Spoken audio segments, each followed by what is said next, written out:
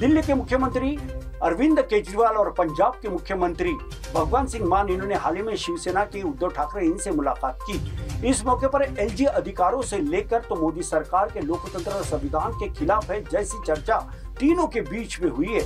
2024 में होने जा रहे चुनाव को देखते हुए हर पार्टी एक दूसरे पर कीचड़ उछालते हुए नज़र आ रहा है। तो वहीं देश के नागरिक नेताओं को लेकर संभ्रम स्थिति में दिखाई दे रहे हैं?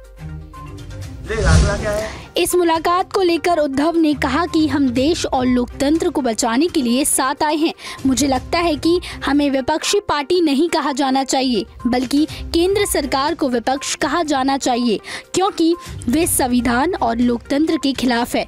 अरविंद केजरीवाल ने कहा कि उद्धव ठाकरे ने वादा किया है कि संसद में हमारा साथ देंगे, और अगर ये बिल संसद में पास नहीं हुआ तो 2024 में मोदी सरकार दोबारा सत्ता में नहीं आ पाएँगी। संजय मीरे, कारा न्यूज़ नागपुर।